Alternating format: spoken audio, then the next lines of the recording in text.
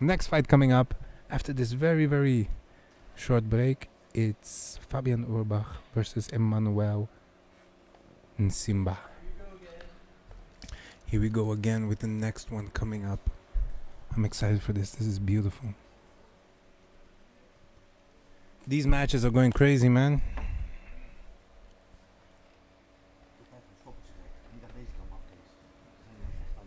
There we go. Nee, kom. Nee, we gaan niet verstoppen. Ze gaan vechten. Kom, oh, ga zitten.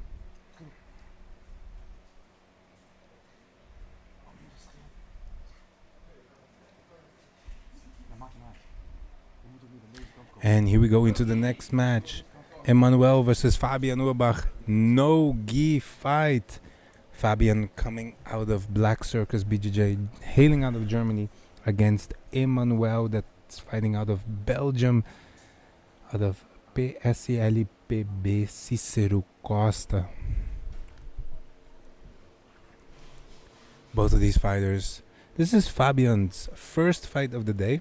So we're excited to see how he's going to do in this one. And Emmanuel. Emmanuel coming out for his second fight today. First fight was a very dominant performance against Anu. This fight, Emmanuel versus Fabian Urbach. I'm excited for this.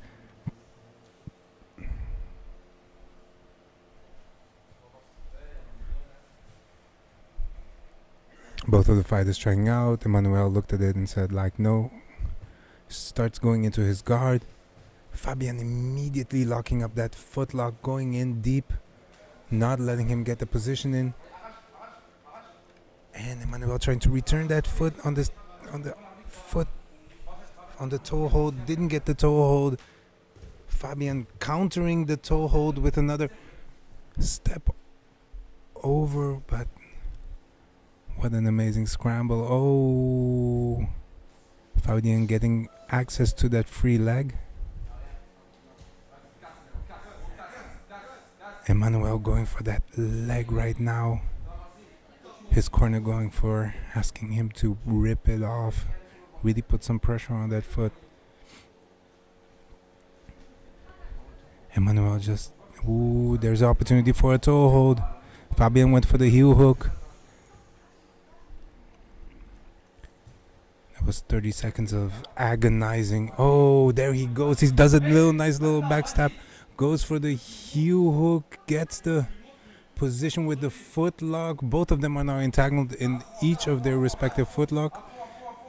There he goes. Emmanuel has a tight foot lock, upside down, belly down, straight ankle lock, locked into Fabian. Fabian holding on, trying to separate the feet, trying to get some positioning on the feet.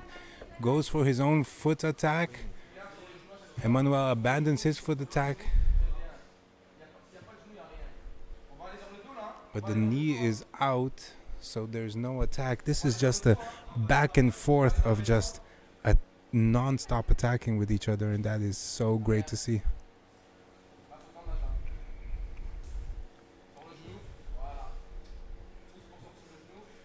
There we go. Another attack from top position. Emmanuel now in the top position, trying to hold on.